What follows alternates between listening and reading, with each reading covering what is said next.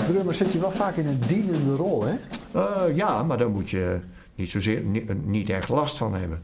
Als je persoonlijkheid eh, zo eh, vraagt om een, eh, een minder bescheiden rol, dan moet je dat vooral niet laten, vind ik. Maar ben kan- je, ben je zo bescheiden dan? Nee hoor, maar eh, ik, eh, ik hoor graag eh, de mensen om me heen eh, te, eh, ja, en, ja, op een of andere manier tevreden zijn met wat ik inbreng of toevoeg.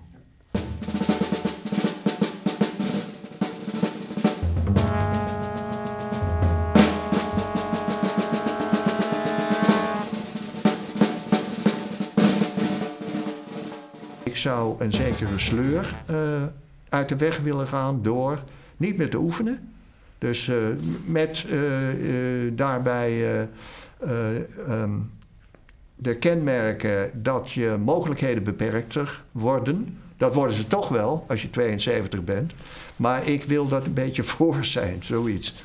Dus er komt eh, in mijn aanpak een steeds soberder eh, ehm, visie